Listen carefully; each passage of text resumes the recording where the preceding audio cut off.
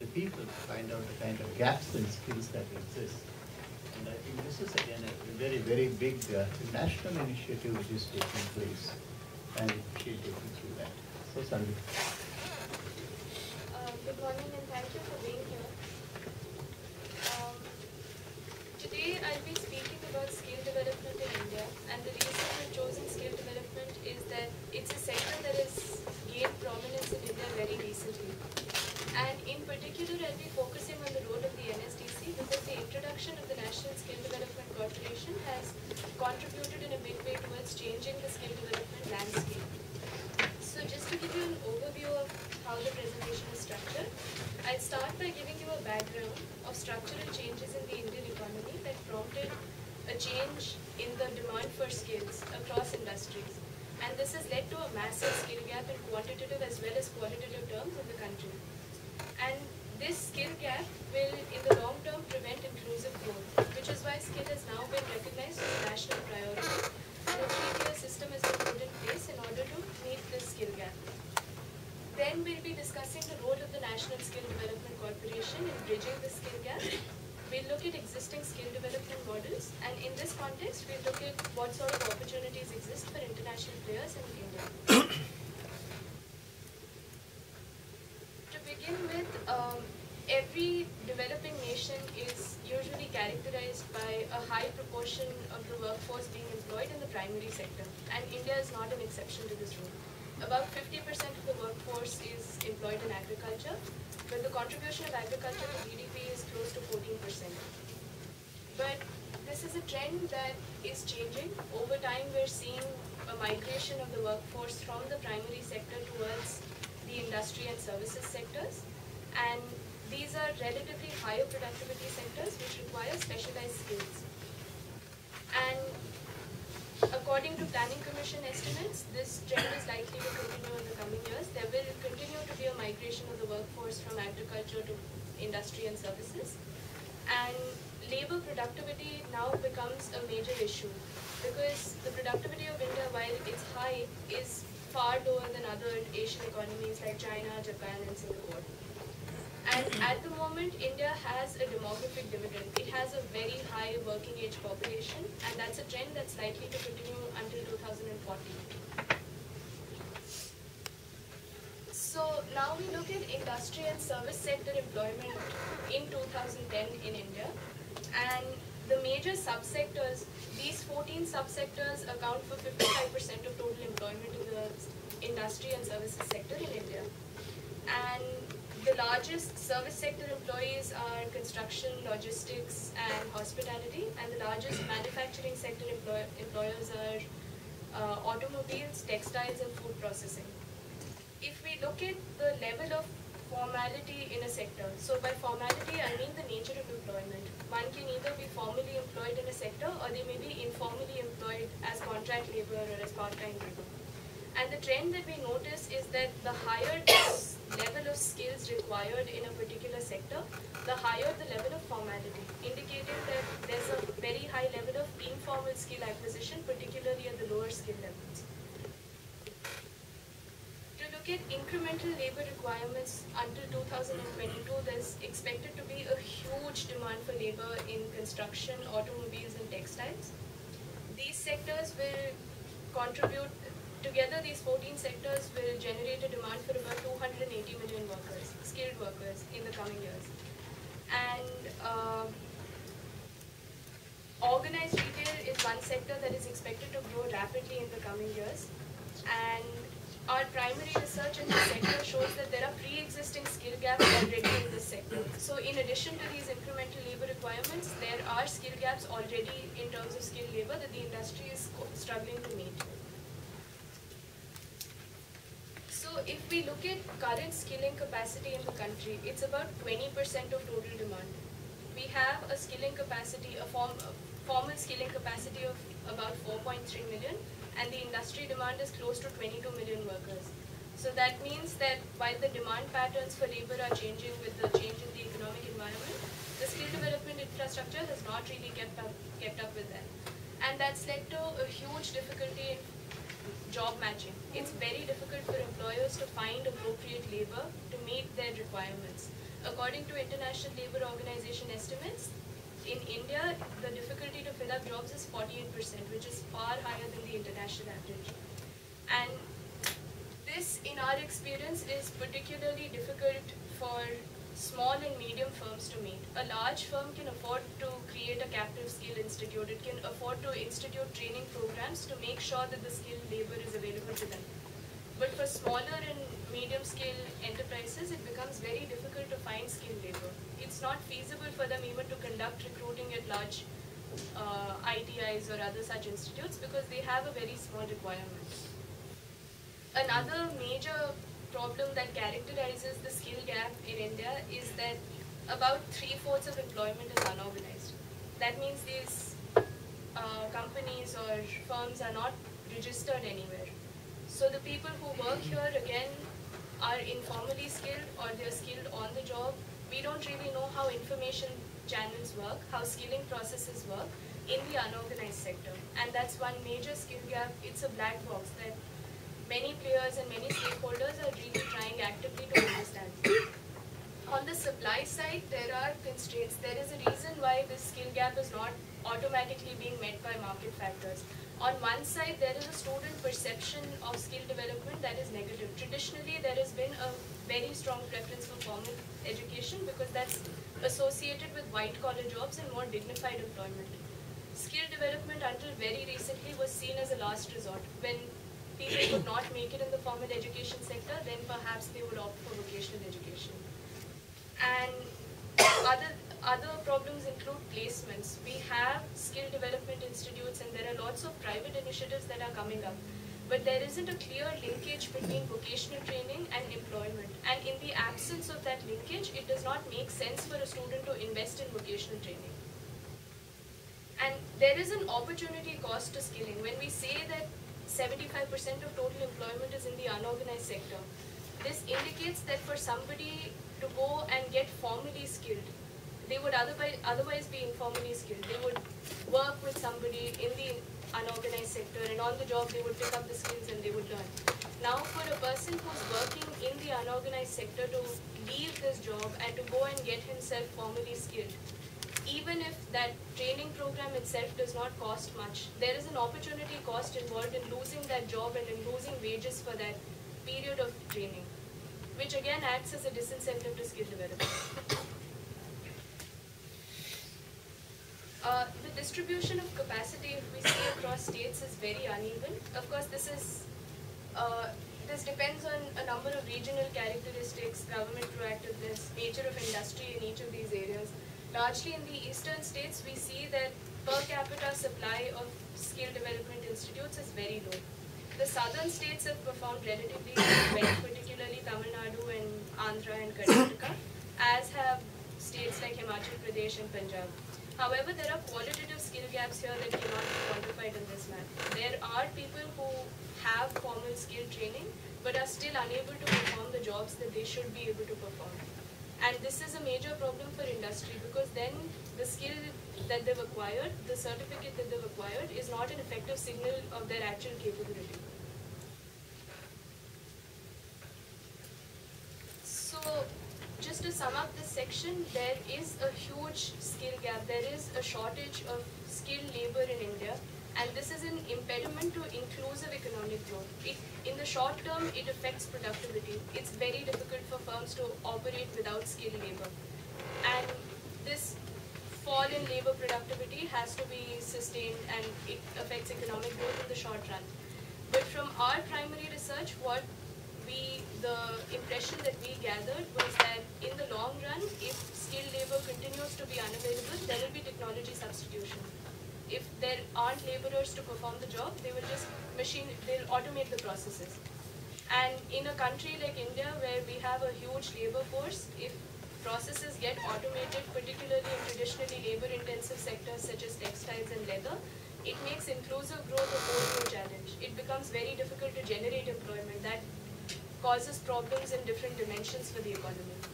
And the percentage of the workforce in India that's currently receiving formal skill training is estimated to be about 10%, which is extremely low compared to other developing nations like 70%.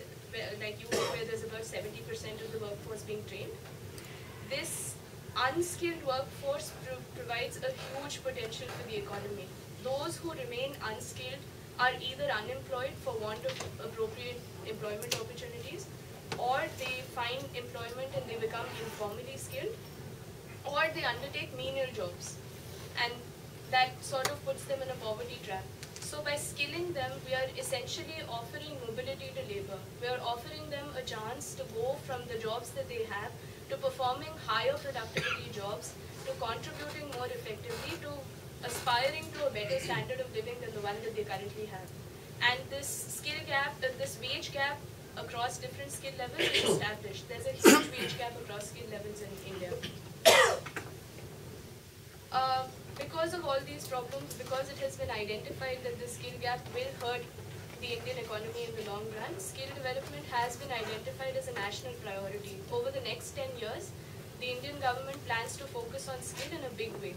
And a three-tier system was set up to bridge this skill gap. The government has set an ambitious target of skilling 500 million people by 2022. In order to do this, there's a three-tier system that works. The first tier is the Prime Minister's Skill Development uh, Council.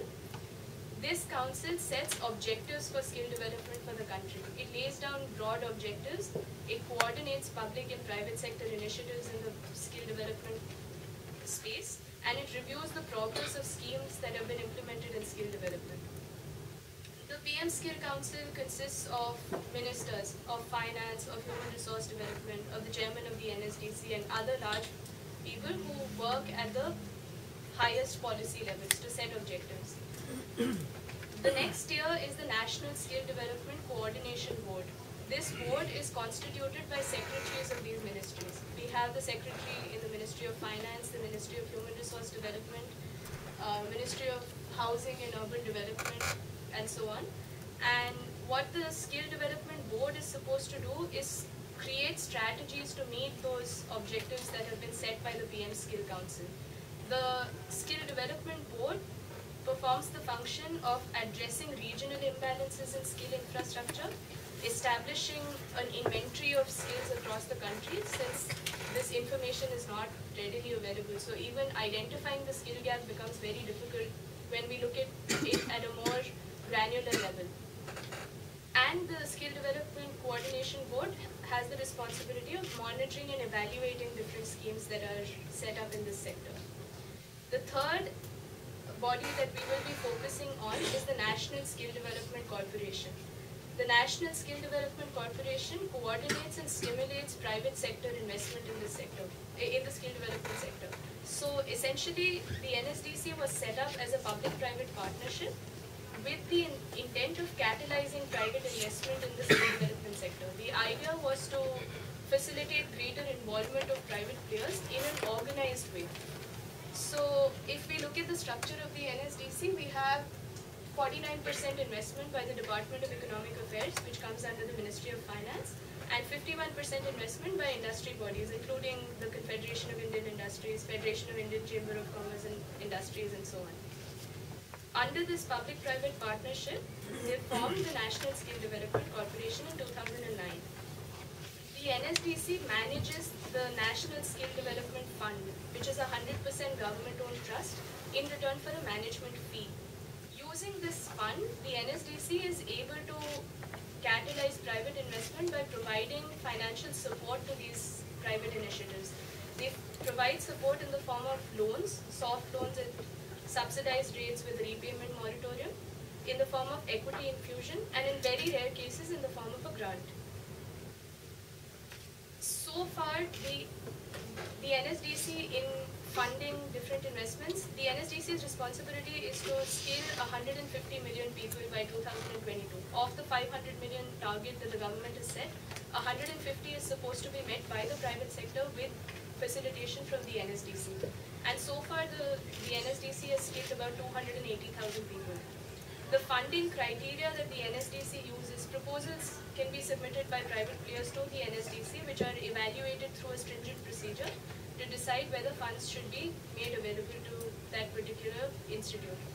the funding criteria focus to a great extent on the sustainability and the scalability of a model. A model is not funded unless a minimum of 100,000 people will be trained in, the, in over a period of 10 years. And the NSDC funds up to 75% of the initiative. At least 25% of the capital has to come from the private player. And the capital that is taken from the NSDC cannot be used for infrastructure. It has to be used for skill development for the core function that the institute performs. For uh, in, in terms of infrastructure, there is an overt focus on using existing capacity, on using existing buildings, existing capacity for infrastructure. There's also a big push in terms of technology and innovation because outreach is a problem. There are many remote areas that require skill development and without technology it's very expensive to reach these areas. And finally, of course, partnerships with prospective employers, with state governments and other stakeholders are encouraged so that the Private Skill Institute has an ecosystem within which it functions and it has clear linkages and partnerships with all the players in this ecosystem. It has, uh, the NSDC focuses on skilling across sectors, but it has 21 sectors which have been identified by the Planning Commission as priority sectors. And its sector-wise skilling target is also defined in terms of these priority sectors, such as organized retail, IT, construction, automobile, and so on. Another mandate of the NSDC is to set up sector skill councils. The idea of a sector skill council is to shift the onus of skill development, the responsibility of skill development on the industry. One of the major problems that the Indian skill development sector is facing right now is the relevance of the curriculum. There is capacity, there is a huge amount of government capacity that is being created for skill development. But a lot of this is not utilized or it's redundant in a way because the skills that are imparted are not relevant to the industry. Often the equipment is outdated or the curriculum is outdated. So a person who gets skilled in an industrial training institute will often be treated at par with somebody who's just completed school. So they're not treated as somebody who has done something over and above that. They don't get a premium for acquiring those skills because the skills that they've acquired are not useful to the industry. They're not relevant at all. So by setting up a sector skill council, a sector skill council is essentially a body that is formed by the industry in order to conduct research for skilling across the value chain of that particular industry to look at delivery mechanisms and identify the most appropriate delivery mechanisms for that industry and to ensure that there's quality assurance because accreditation me mechanisms are not have not been put in place currently. So the Sector Skill Council performs a, a nodal role in, in for skilling in that particular sector. It takes care of accreditation, it makes sure that curricul curricula are relevant, it makes sure that there is adequate research and data available on where the skill gaps are present in that particular industry. And so far the NSDC has set up 18 sector skill councils and four more sector skill councils are, the proposals are under evaluation and eight more proposals are in the pipeline. So with the creation of the NSDC, several modes of funding have been adopted.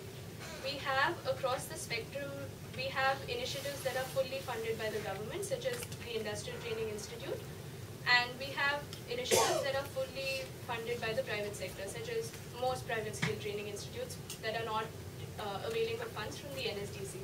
But in the PPP space, there has been an exploration of a number of different models to set up skill development institutes. So in this section, we'll just briefly look at some of the models that NSDC partners as well as other skill training institutes have adopted to provide skills in this particular space. So, so these are, the first two are NSDC partners. B-ABLE stands for Basix Academy for building uh, long-term employ employability. Gram Tarang is another organization that was funded by the NSDC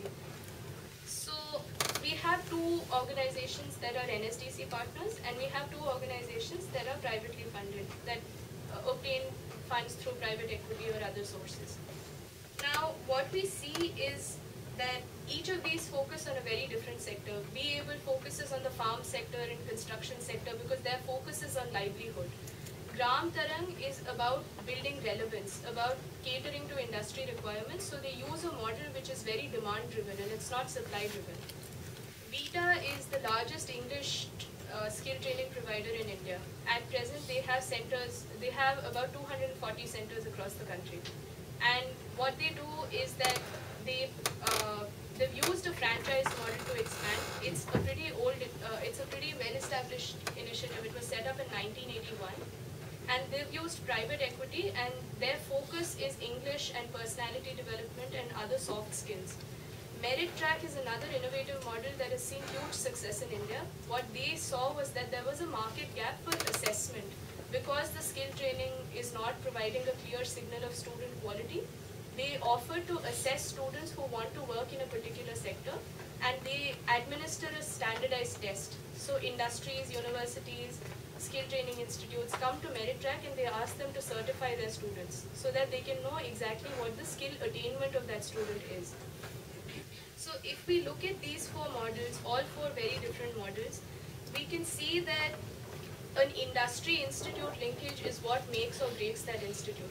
Because without placements, the students will not see any point in, in enrolling for skill training. And since all models in India tend to be volume driven, since they have to focus on a high volume and low margin gain, given that the willingness to pay on the part of the students is relatively low, we see that in order to make such a model sustainable, to have a model where you're keeping your margins low, the only way that sustainability can be built into such a model is to leverage the use of ICT. By using greater technology, they're able to adopt, uh, by using uh, ICT on a large scale, they're able to keep their costs down. We've also seen a great deal of interest in this sector from private players from international players. There are countries that are looking to collaborate with India in this space. Germany, Australia, UK and Singapore have all expressed interest in working with India in the skill development space. And in our interactions, we see that there is a definite belief in the long-term sustainability of the skill development sector in India. To look at opportunities for, player, for international players in this particular market, given the context that we've set so far, is a clear business case for skill development in India, especially after the setting up of the NSDC and the consequent attention that skill development has received. In terms of entry barriers, the market is not very highly regulated. There are government skill training institutes such as industrial training institutes and industrial training centers. These institutes are set up by the Department of Employment and Training of that particular state but private skill training institutes are largely unregulated in the Indian market. 100% FDI is permitted in skill development and unlike education, it can be a for-profit venture in India. But this lack of regulation is both a challenge and an opportunity. It's an opportunity in the sense that it's easy for a new player to set up base, but it's a problem because a student cannot distinguish between a good training institute and a bad training institute. Any person can come and set up an institute. But over time, we're expecting this regulation to become more structured since we have sector skill councils, since we have state level skill development missions that are being set up to focus exclusively on these issues. In terms of competition, a large proportion of the skill training market is dominated by the government in India. So this essentially causes a sort of excess supply situation because the government training schemes are highly subsidized. They provide courses at very low rates. And despite this, we can see that there is an interest from private players in spite of this uh, supply of training institutes by the government, there are private players who are able to see that there is a qualitative skill gap, that there is a quantitative skill gap that the government is unable to bridge, and they are setting up domain-specific initiatives in the private training space, and they have been very successful we see that this uh, supply of tra training institutes by the government creates a price discovery problem. It's very difficult to know exactly what a student is willing to pay given that he has an alternative of going to a private, to a government skill training institute. And a government skill training institute, particularly in backward areas, may command greater uh, trust from the students since they would value a government certificate and since there is no accreditation mechanism that helps them distinguish across different private players. There is, however, significant market growth, particularly in the service sectors such as IT, telecom, media, entertainment. There is going to continue to be huge labor demand from the industry as well as the students. There is a great deal of interest from the students in sectors such as retail and hospitality.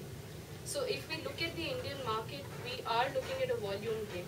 A successful skill development in initiative in India typically focuses on a high volume model. And this is due to multiple factors that are prevalent in the Indian market, such as competition and low acceptance of skill development as an alternative. So to build credibility, a, a very high-priced uh, course is unlikely to find students who would be willing to invest in it if we look at the scope for international players in this area, in terms of opportunities, there are a large number of opportunities. It is possible to develop institutes in India since 100% FDI is permitted. Co-development of institutes with private partners is a model that has seen success and it has been popular among international players. In terms of content, curriculum and pedagogies, there are a lot of institutes that require support. Singapore is well known and well recognized for the quality of its skill training. And by providing content support, they would be bridging a gap that the Indian sector is currently facing. Training of trainers is another area that is received a lot of attention. The NSDC as well as state governments are looking at the problem of training the trainers very seriously. Because even when a skill development institute is set up, even when curriculum is standardized, even when content is uniform across skill training institutes, there are there is a lot of variability in the quality, and this is because it's simply because of the delivery of training. The availability of quality trainers is a huge obstacle. It's one of the largest obstacles for any obstacles for any skill training institute in India at the moment. Uh, the government is looking at setting up world-class training institutes. The sector skill councils are mandated to promote centers of excellence. And setting up world-class training institutes is something that international players, particularly Singapore, could collaborate on given that they have a huge deal of expertise in this area. Certification, testing, and accreditation mechanisms are just being built. This is a need that has been identified very recently, and this is a space that's wide open. Partnerships with existing institutes or skill development missions are also gaining a great deal of popularity and traction, particularly because skill development missions in certain states are extremely proactive at the moment in order to bridge the skill gap. The main sectors that are likely to be of interest to international players and to Singapore given its competencies is the service sector, particularly sectors such as construction, healthcare, finance, logistics, maritime, retail and hospitality. In terms of the services that can be provided, innovative vocational education courses, particularly those that leverage technology, will be encouraged and will see a market in India partnering with state governments or skill development missions for setting up advanced training institutes is another option. Skill development missions in different states are setting up advanced training institutes which offer specialized courses for specific sectors and skills. In facilitating the setting up of these uh, institutes, particularly since public-private partnership options are being explored at the moment, international players have a huge opportunity. Faculty training institutes, as I mentioned earlier, is another great opportunity because of the unavailability of quality trainers. Certification of blue collar workers for regional markets is a gap that India is facing not only within the country but even for workers who go to other economies to work, who go to say Dubai or other places to work, their certification from any private skill training institute is often not recognized. A Singapore certificate is recognized. It's recognized in the entire Asian region. And Singapore has credibility in skill development. And this is a space that can be explored further. Soft skills training is expected to be one of the largest markets in the coming years, particularly because we have a lot of local level school, uh, we have a, lo a, lot of local languages. The medium of instruction tends to be the local language. But employ employment in the services sector often requires the knowledge of English. And soft skills training is an area that has seen phenomenal growth over the past few years. In terms of business models, we've seen government-to-government collaborations in the past as well, where the economy, the governments of two countries partner with each other in order to provide for greater collaboration to evolve standards for skill development and to create a, a conducive environment for skill development in partnerships between the two countries. Singapore and India have uh, have signed a memorandum of understanding to collaborate in the skill development area. In terms of government to industry, we see a great deal of interest in the public-private partnership sector. In states such as Gujarat, Tamil Nadu, Karnataka and Madhya Pradesh, the skill development missions that have been set up by the state are extremely proactive. In Karnataka, the state government is working with GIZ to set up world-class training institutes that offer multi-skilling courses. In terms of industry to industry uh, partnerships, of course, we can have joint ventures and we can have knowledge partnerships where the Singapore investor or player provides content support or knowledge support to the local partner they partner with. Uh, we have worked in the skill development sector quite uh, across different types of clients. We have experience in opportunity ma mapping. We have conducted market research for various types of clients. We have undertaken deep policy analysis. We have undertaken feasibility studies for private players. And we've looked at exploring different business models that would be appropriate for each of them. We've worked with the National Skill Development Corporation on looking at, uh, uh, on conducting a district level skill gap assessment for the state of Tamil Nadu. So essentially we're looking at what the demand and supply for skills is in each, each of the 32 districts of Tamil Nadu, qualitatively as well as quantitatively. With the British High Commission, we've looked at what's, what are the opportunities and challenges in the skill development space in India to, to uh, create a concept note that would serve as a point of reference for people who are interested in this sector.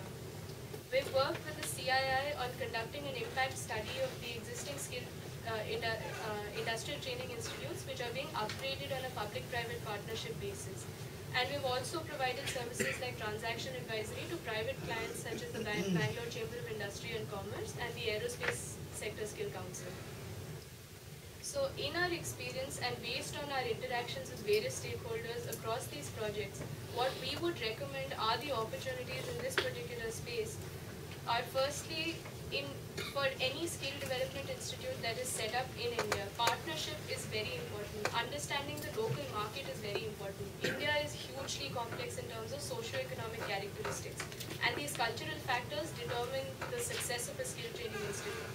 Something as small as location of one training institute vis-a-vis -vis the other branch can cause a huge disparity in the sort of students who show an interest in that institute. And it becomes very difficult to target and mobilize students, which is why we encourage partnership with local players who have an understanding of that market.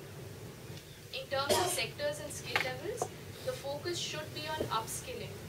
For higher skill levels, there is ample supply. For formal uh, training institutes, there are, uh, for uh, formal education, there are a lot of universities. There are students who are interested in this area and they are going in to uh, acquire these skills. They're willing to invest in acquiring these skills even abroad if they must because the returns to such skilling is very different from the returns that we see to other vocational education programs in service sectors, we have a major skill gap, particularly at the lower skill levels, that needs to be bridged. If we look at the enablers for this sector, we have training of trainers, which will be a huge skill gap that is an enabler for any international player in, interested in entering this market. Content pedagogy support is something which will be received positively because of Singapore's expertise in this sector. And pricing will make or break that institute. In terms of pricing, we recommend penetration pricing. In adopting a skimming strategy, it's very difficult